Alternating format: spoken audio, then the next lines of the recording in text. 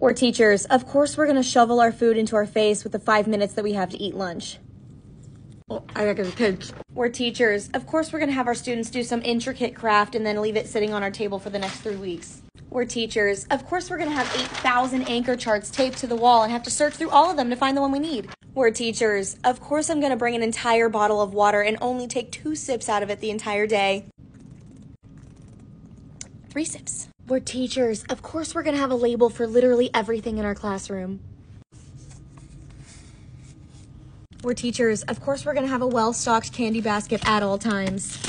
We're teachers. Of course, we're going to cringe as we count the number of pencils we find on the floor. One, two, three, four. We're teachers. Of course, our classroom's going to look like a rainbow threw up in it. Ah. We're teachers. Of course, we're going to have a massive collection of read alouds. We're teachers. Of course, I'm just writing mini lesson plan notes to myself. We're teachers. Of course.